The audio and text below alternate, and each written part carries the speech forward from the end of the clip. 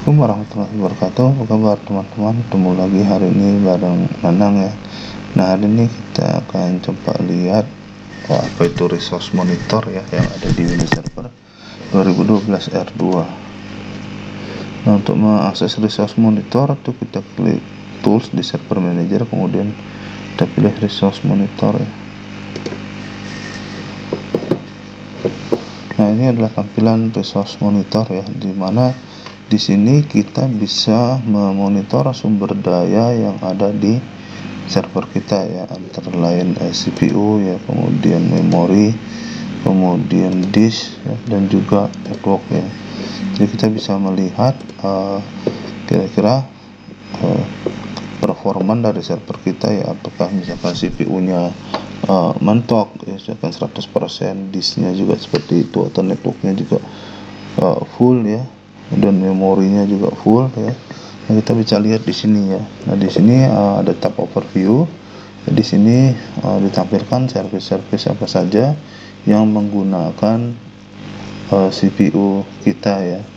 Dan di sini kita bisa lihat uh, CPU usage-nya itu ya bisa berkisar dari 7 ya kemudian 8 ya sampai uh, 12% ya. Artinya ini masih normal ya jadi tidak terlalu uh, banyak yang memakan uh, eh, CPU kita ya. Kecuali CPU kita udah mencapai 100% nah baru di sini kita harus lihat kenapa sampai mentok 100% ya. Kemudian disk juga sama ya. Ini sampai 7% ya ini. Seperti itu untuk IO nya kemudian network juga seperti itu. Nah kemudian di tab detailnya itu di tab CPU oh, di sini dilihat yang ditampilkan proses-proses apa saja yang menggunakan CPU dan juga beserta di sini proses ID-nya ya.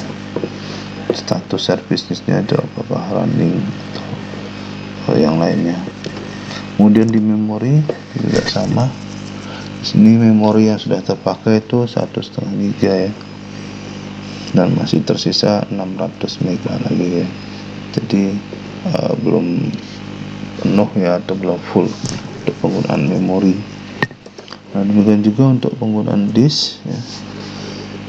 Ini masih rata-rata satu persen ya jadi belum terlalu tinggi untuk membaca tulis ya. Kecuali misalkan uh, aplikasi kita itu ada database SQL Server ya, atau Exchange dan sebagainya yang uh, intensif melakukan baca dan tulis. Nah maka penggunaan disk itu juga akan menjadi tinggi di kemudian uh, di bagian network ini juga tidak terlalu banyak.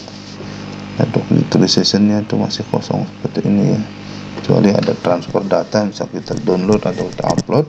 Nah, maka network itu akan meningkat juga untuk aktivitasnya ya. Nah, jadi kami bisa menggunakan resource monitor untuk mengontrol uh, proses-proses apa saja yang berjalan ya. Berapa penggunaan uh, sumber daya yang ada di server kita ya. Selain CPU kemudian memori uh, disk dan juga dock ya.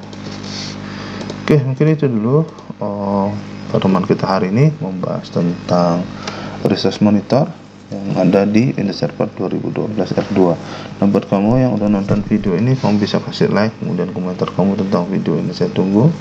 Dan bagikan video ini ke teman-teman kamu agar mereka belajar apa yang kamu tahu. Kunjungi blog saya linknya ada di bawah video ini juga. Dan pastikan nih buat kamu yang belum subscribe diklik dulu ya tombol subscribe nya dan bunyikan belnya jadi kalau ada video baru dari saya langsung muncul notifikasinya di youtube kamu Oke, makasih. Sampai jumpa kembali. Assalamualaikum warahmatullahi wabarakatuh.